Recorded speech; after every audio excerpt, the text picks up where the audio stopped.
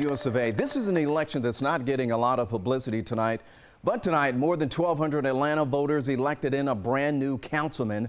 Local businessman Antonio Brown won the seat in District 3, which includes Vine City, English Avenue, and Atlantic Station. He defeated former APS board member Byron Amos. Now, this is the seat formerly held by Ivory Lee Young, who died in November. By the way, Brown told us tonight that he considers himself an anti-establishment. My campaign was really driven by the people, and I believe the people were tired, and they wanted their voices to be heard. And that is the reflection of the outcome today. All right, this is a bizarre story here.